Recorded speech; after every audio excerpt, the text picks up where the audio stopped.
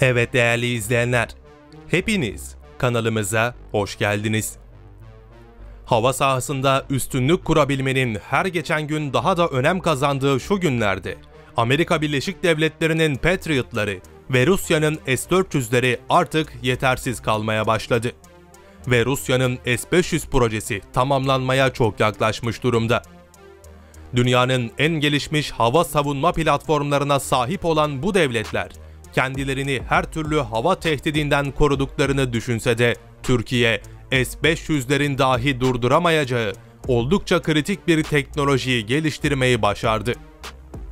Yenilikçi teknolojiler alanında gerçekten de çığır açıcı adımlar atarak çalışmalarına devam eden Türk savunma sanayi, dünyanın en gelişmiş hava savunma sistemlerinin dahi karşısında duramayacağı çok özel bir harp teknolojisini geliştirmiş durumda geliştirdiğimiz yerli ve milli sürü İHA teknolojisi sayesinde hiçbir hava savunma sisteminin durduramayacağı kadar yüksek miktarda patlayıcı taşıyan, farklı miktar ve özellikleriyle dikkat çeken sürü İHA'ların saldırıları sayesinde artık sahada garantili bir zafer elde etmeye çok yaklaşmış durumdayız. Türkiye'nin insansız hava araçları alanındaki yatırımları tüm dünya tarafından çok iyi biliniyor. Ülkemizin bu alandaki yatırımları büyük ölçekli platformlarla ön plana çıkıyor olsa da Bayraktar Akıncı, Kızıl Elma ve TUSAŞ Aksungur gibi projelerin yanında küçük boyutlu olmalarına rağmen çok büyük işler başarabilen drone teknolojisinde de ciddi yatırımlarımız bulunmaktadır.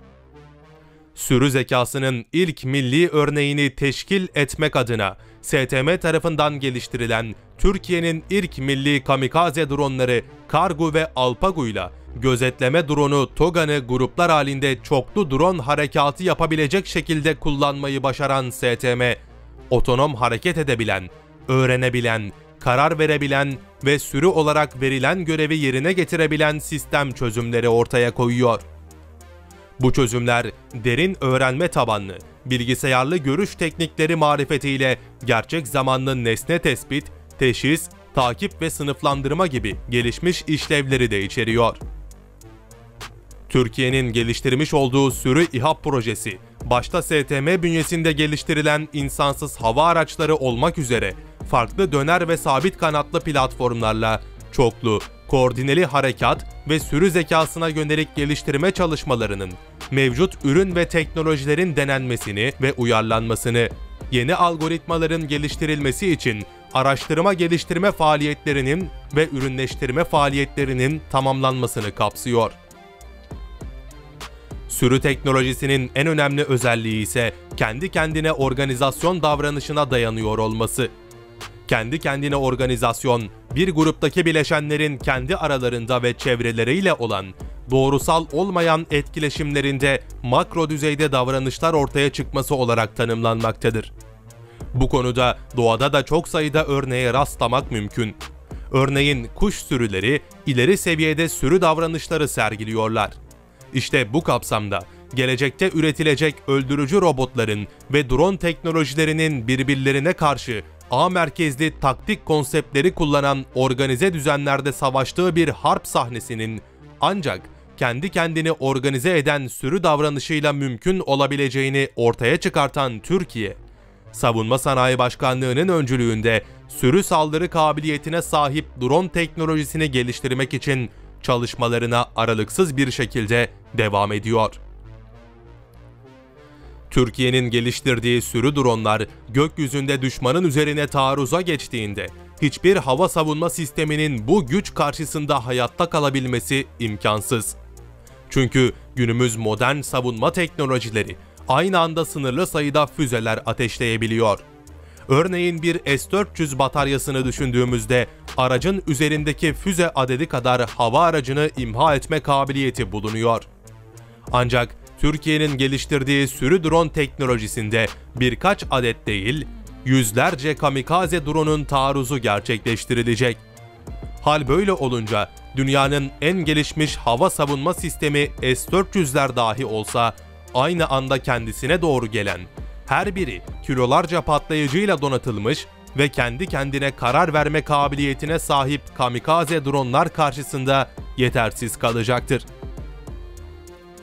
Sürü zekasına sahip İHA'lar otonom intikal edebilen, öğrenebilen, karar verebilen ve sürü olarak verilen görevi yerine getirebilen sistemlerdir.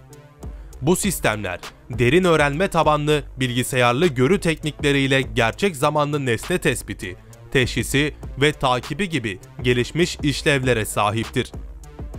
Geliştirilmeye devam edilen sürü drone operasyonu projesinde başta STM bünyesinde yer alan insansız hava araçları olmak üzere döner ve sabit kanatlı platformlar ile sürü zekasına yönelik çalışmalar, mevcut ürün ve teknolojilerin denenmesi ve uyarlanması, yeni algoritmaların geliştirilmesi gibi araştırma, geliştirme ve ürünleştirme faaliyetleri gerçekleştirilmektedir. STM'nin bu sürü projesine dahil ettiği platformlardan birisi de Kargu. Kargo, tek er tarafından taşınabilen, görüş içi ve görüş ötesi hedefleri tespit ve imha etme kabiliyetine sahip, taşınabilir, döner kanatlı, milli vurucu İHA çözümüdür.